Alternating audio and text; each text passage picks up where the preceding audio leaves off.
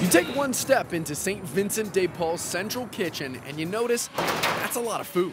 They come in, they chop, slice, dice, prep food. Joining the 15 cooks and dishwashers day in and day out at the largest commercial kitchen in the Southwest, around 25 volunteers. Our, our base is volunteers. We couldn't do anything without our volunteers.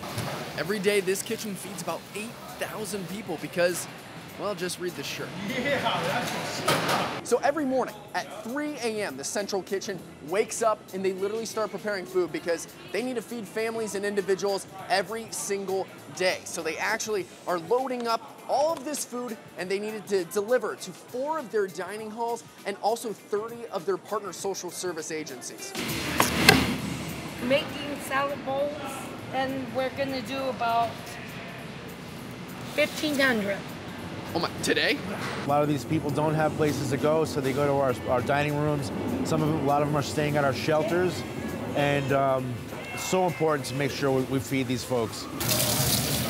However, with the holidays upon us, a little extra volunteers to make a little extra food doesn't hurt. I mean, we thrive every day with what we do, but the holiday season, Thanksgiving and Christmas, is really when we shine. This kitchen goes above and beyond to feed its community with a two-week rotating menu and is thankful for all the help they can get. Um, even though we have the holiday, Thanksgiving, every day is Thanksgiving because every day we have to be thankful for what we, what we have. In Phoenix, Troy Lynch, 12 News.